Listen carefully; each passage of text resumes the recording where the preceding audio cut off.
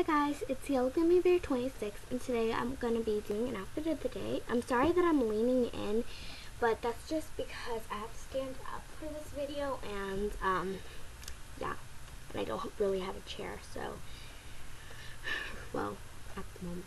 So yeah, first I'm going to start off with my hair. Um, I didn't do anything to it, it's naturally wavy like this.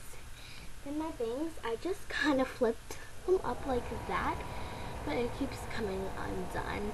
So yeah. The only makeup I'm wearing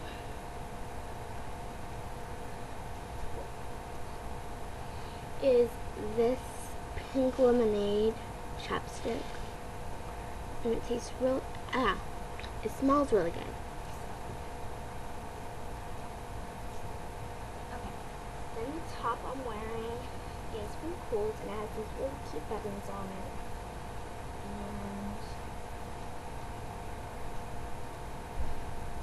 and um yeah okay so for jewelry I'm just wearing this ring that I got one year for my birthday.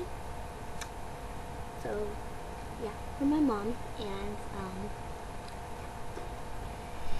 then I'm wearing these earrings. They're just gold studs and my mom gave them to me to wear when I go to sleep or just for a normal day. Then I'm wearing just these shorts. They're from Justice and it has this peace sign. They're reversible so the other side will look like that but I chose to keep them like this. The scent I'm wearing is Harajuku Lovers G Perfume and it smells like vanilla and coconut. It just smells really good. my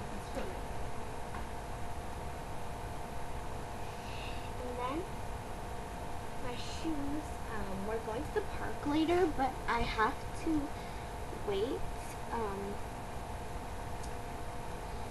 because it's really hot where I live, so I'm going to have to wait till it cools down. But the shoes that I'm going to be wearing are my Shape Ups. They're not the original Shape Ups, but um,